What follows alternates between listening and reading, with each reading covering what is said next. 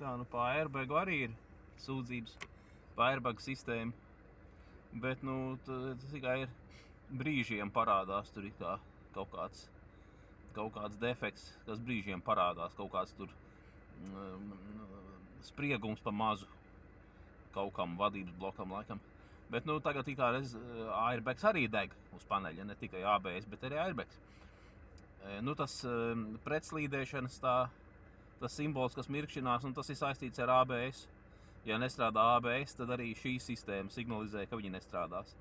Tā ir stab, drošības, stab, stab, stabilitātes sistēma, kas, kas eh,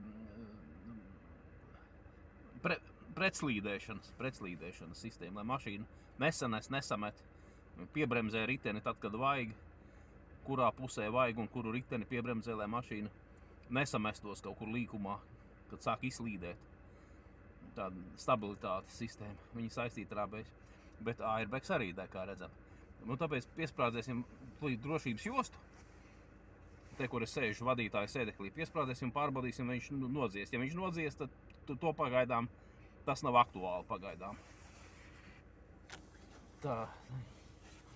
Piesprādzējam jostu. Un airbags nodzies. Tas nozīmē, ka to mēs tagad neņemsimies, tas nav aktuāli.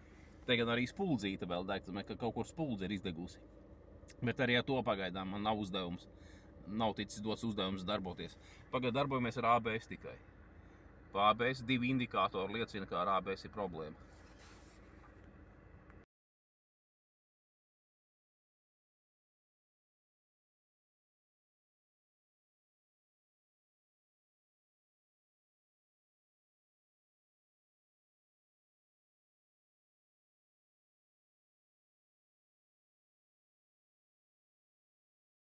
Tā, nu miera stāvoklī visi, visu riteņu ātruma sensori, tā saucamie ABS sensori, rāda ātrumu e, 0 km/h. Cits teiks, nu kā, protams, mašīna nebrauc skaidrs, ka rādīs 0. E, Nē, šis cilvēks ļoti maldās, ja viņš tā teiks, jo ir gadījumi, ka mašīna nebrauc un vienalga tiek rādīts kaut kāds neadekvāts ātrums. Tā kā ļoti svarīgi paskatīties arī, vai rāda nulles miera stāvoklī. Tā, esam tagad redzam ātrumus, visu riteņu ātruma sensoru ātrumus mēs te redzam. Un tagad mēģināsim pabraukt un skatīsimies, kuram ritenim vai visiem riteņiem, nu kas notiek ar ātrumiem, kādas ātrumus uzrāda riteņiem braucot.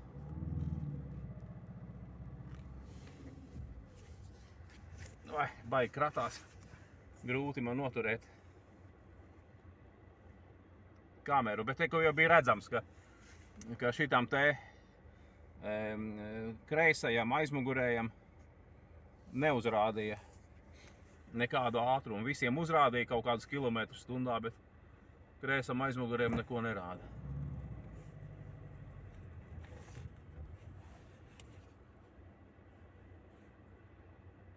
Kratās kamera grūti man nofilmēt, no, nofokusēt. Mēģināšu vēl kaut kā.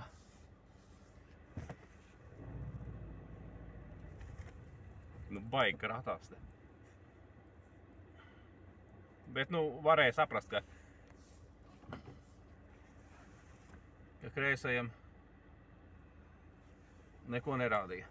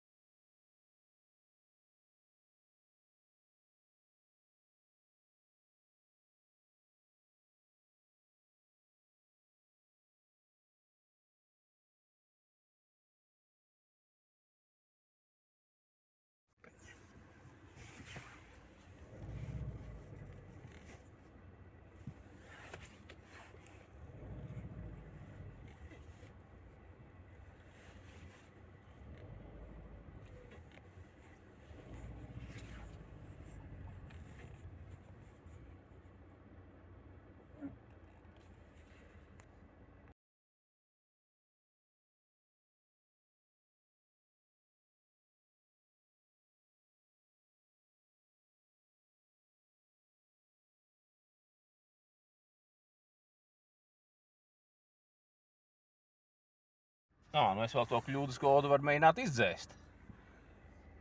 Varbūt kaut kāds atmiņā ierakstījies. Katrā ziņā ir vērts pamēģināt izdzēst.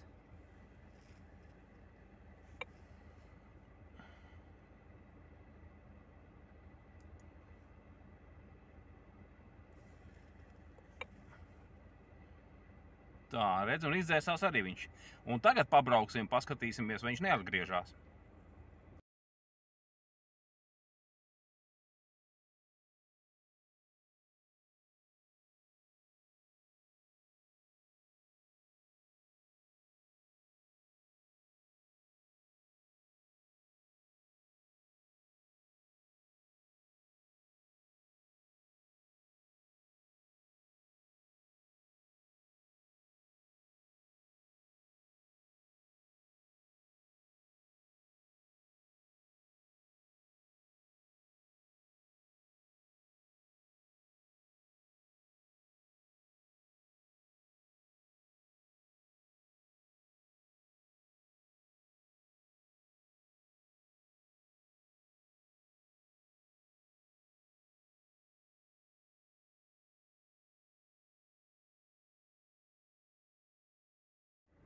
Jā, kļūdas kods ir izdzēsts.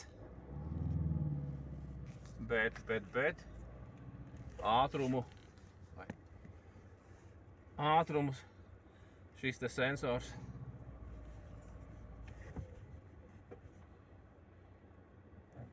vienalga nerāda. Tas nozīmē, ka sensors vienalga nestrādā. Kaut arī kļūdas kods ir izdzēsts. Neko. Nu, redzams, ka kreisais aizmugurējais nestrādā vienalga.